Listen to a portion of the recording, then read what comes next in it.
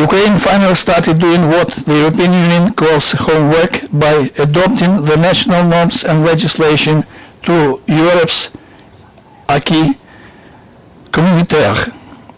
Within just one year, Ukraine passed, passed the whole set of laws that have been long overdue in terms of its European integration, starting with the law on state procurement, then uh, tax code, and ending with a one expected law on access to public information.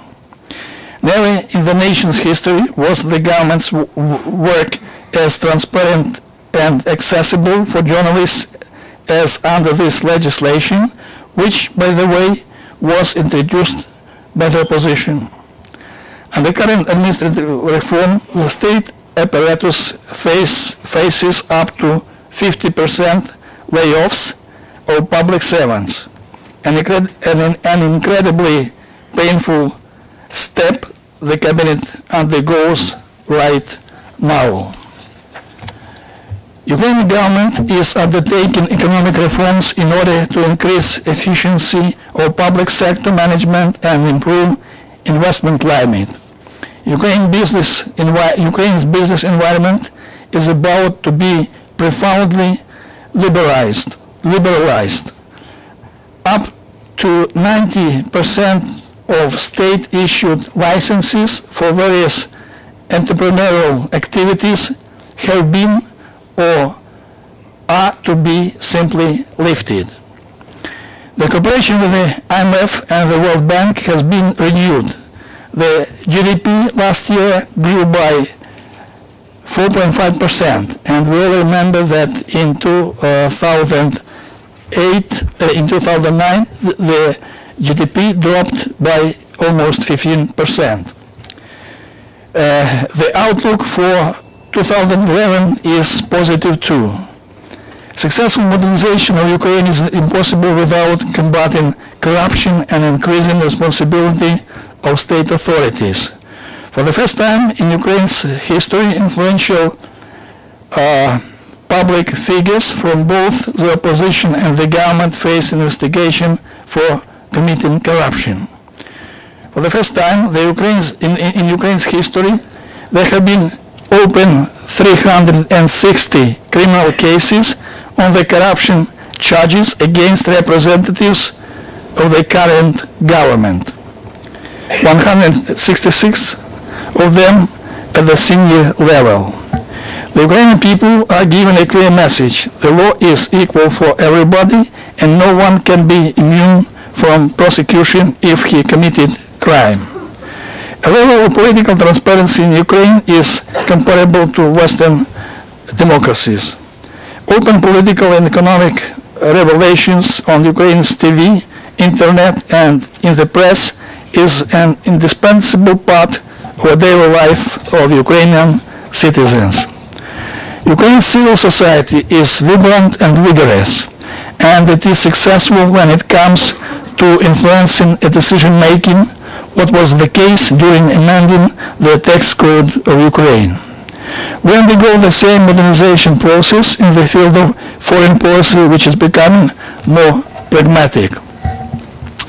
The European integration remains to be a key foreign policy priority, but for the first time, it also became a core of domestic reforms in Ukraine. We successfully uh, reset our relations with Russia. We do not pursue Russian-oriented policy, as one may put it. We are Ukraine-oriented and develop our relations on the basis of equality, mutually beneficial cooperation, understanding, and respect. And uh, it seems to me yesterday my minister made a statement that Ukraine will not is not going to to to, to join the uh, custom union of uh, four countries. Uh, the strategic partnership with the United States develops in a good direction, what was confirmed by the third session of Ukraine-US Strategic Partnership Commission. Ukraine is opening itself to the world and pursues a friendly, eager, and engaged policy towards all its partners, neighboring and distant. Ladies and gentlemen, democratic processes in Ukraine need internal consolidation of the Ukrainian society as well as wider international support. While undertaking systemic reforms in all fields of Ukraine's modernization, we rely on the assistance and expertise of our partners, including the United States. In this regard, the President and the government of Ukraine is determined to continue a constructive dialogue not only with officials, but also with civil society organizations, both domestic and foreign ones. We rely on understanding and support of the Ukrainian American community and all the Ukrainian diaspora. We attach an important an importance to such discussions and insights as you will have today. I believe that Ukraine's success will be our mutual success. Let me use this, this opportunity to thank you all for your attention to Ukraine and your contribution to Ukraine-US relations. Once again, I would like to thank the Washington Group, especially Mr. Andrei Bihun, and all organizations represented here for an excellent cooperation. I wish you a very fruitful and constructive discussion and to, at today's conference. Thank you very, thank you very much for your attention, and uh, I apologize. I have to leave because uh, I have another commitments yet today. Thank you very much.